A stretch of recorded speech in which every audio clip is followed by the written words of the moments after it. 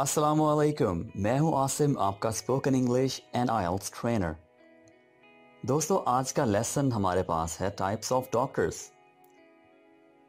इस लेसन में हम बात करेंगे आम तौर पर जो डॉक्टर्स के लिए वर्ड्स यूज़ किए जाते हैं और जो उनके रियल नेम है, जो कि उनकी स्पेशलाइजेशन है। आमतौर पर डॉक्टर्स के लिए आप जो वर्ड्स यूज़ कर रहे होते हैं, वो कुछ इस तरह के हैं। दिल का डॉक्टर आँख का डॉक्टर कैंसर का डॉक्टर इसी तरह से मुख्तलिफ़ और जो आपके अज़ा हैं, उनके लिहाज से आप उनके नाम रख देते हैं डॉक्टर्स के। हालाँकि उनके जो रियल नेम हैं, वो थोड़े डिफरेंट होते हैं।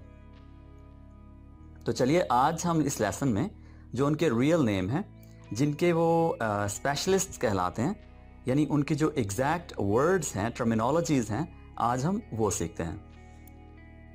दोस्तों, हम इस चैनल पर ला रहे हैं आपके लिए बहुत ही ज़बरदस्त वीडियोस तो अभी चैनल को सब्सक्राइब कर लीजिए अगर आपने अभी तक सब्सक्राइब नहीं किया।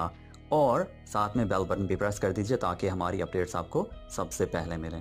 थैंक यू एक अनाउंसमेंट है छोटी सी आपके लिए। ये जो कंप्लीट लेसन है, आप पीडीएफ में भी, यानी एक किताब में भी हासिल कर सकते हैं। उसके लिए लिंक डिस्क्रिप्शन में, यानी नीचे दिया गया है तो आप वहाँ से किताब भी डाउनलोड कर सकते हैं, ताकि आपको बार बार वीडियो ना देखनी पड़े और आपके पास ये तमाम जो लेसन है वो एक नोट्स के तौर पर अवेलेबल हो। Okay so here we have the very first word which is pediatrician pediatrician pediatrician इसको हम कहते हैं बच्चों का डॉक्टर जो बच्चों का डॉक्टर होता है, वो कहलाता है पीडिया पीडिया जैसे विकीपीडिया ट्रिशन ट्रिशन पीडियाट्रिशन निज़ाम तनफ़स का जो डॉक्टर होता है, यानी आपके जो सांस लेने का अमल है, इसमें आपके जो फेफड़े हैं, वो भी इन्वॉल्व होते हैं। तो उसको हम कहते हैं फिल्मोनोलॉजिस्ट फिल्मोनोलॉजिस्ट फिल्मोनोलॉजिस्ट आपके लिए एक छोटा सा ट्रिक मैं बता दूँ, आप इस वर्ड को कैसे याद रख सकते हैं आसानी से। देखिए, आप जब सांस लेते हैं, सांस लेने के अमल में आपके जो फेफड़े हैं, वो फूलते हैं राइट फूलते हैं और सुकड़ते हैं। तो इसी तरह से ये वर्ड भी उसी तरह से स्टार्ट हो रहा है। फिल्मो राइट फिल्मोनोलॉजिस्ट फिल्मोनोलॉजिस्ट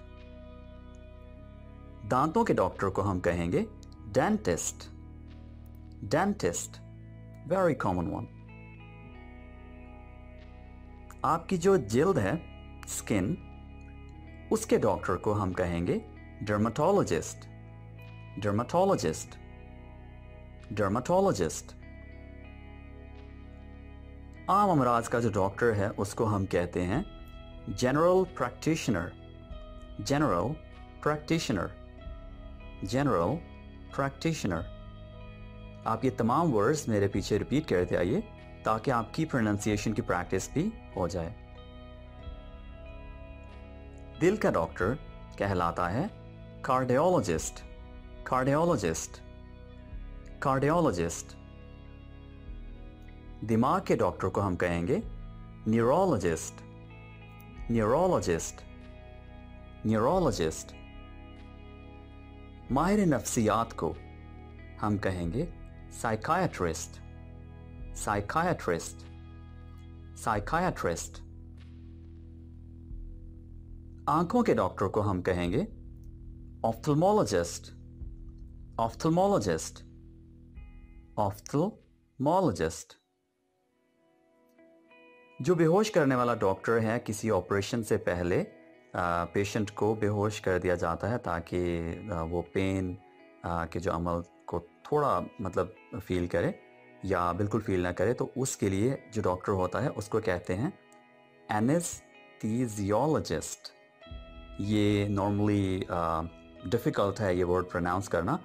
सो so, इसको आप ब्रेक uh, डाउन कर लीजिए ऐसे। एनस एनएस यू एनएस थी जियोलॉजिस्ट लॉजिस्ट को इकट्ठा रखिए।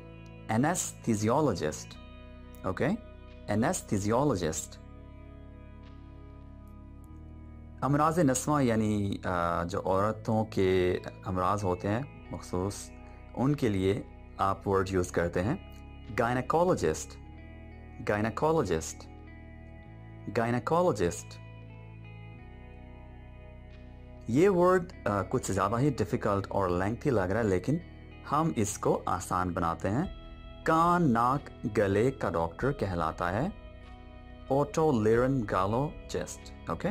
ओटोलिरन गोलोजिस्ट ये एक काफ़ी डिफ़िकल्ट वर्ड है और इसको नॉर्मली लोग कम ही यूज़ करते हैं। सो so, इसके लिए जो आम टर्म यूज़ की जाती है वो है E N T E N T doctors E N T stand for ear, nose and throat. Ear, nose, and throat. Cancer के डॉक्टर को हम कहेंगे अंकोलॉजिस्ट अंकोलॉजिस्ट हड्डियों और आसाब का जो डॉक्टर है उसको हम कहेंगे orthopedic orthopedic orthopedic thank you for watching this lesson take care bye for now